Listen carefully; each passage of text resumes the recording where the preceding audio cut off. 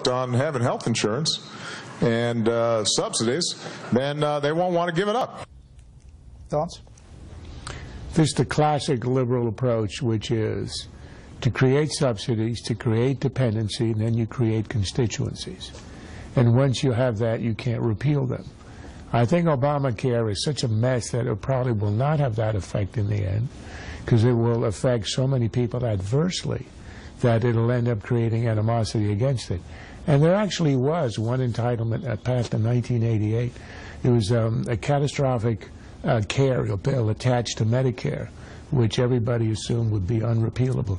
It was so unpopular it was repealed the next year in 1989. So I think this will probably happen to Obamacare. Look, the idea that only Ted Cruz is speaking out against Obamacare is not exactly true the head of the AFL-CIO is speaking out against it. As we, as you reported a couple of weeks ago, those the unions in the meeting of the AFL-CIO were railing against it and wanted it repealed. I think it's more effective if the labor unions, who are the most loyal Democrats in the country, are, railing against Obamacare. This, what we're seeing tonight, is pure theater would have no effect. I think what might have an effect, if you want to attach something onto the resolution, you got to have something that the country entirely agrees with. Attach onto this a, um, a provision that no one in Congress and no staffer in Congress is going to be exempt from all of the provisions of Obamacare, and they will not be eligible for any subsidies.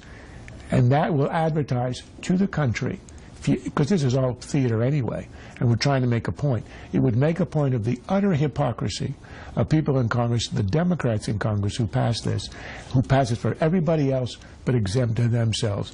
That, I think, would be an effective uh, point. But defunding it, it's not going to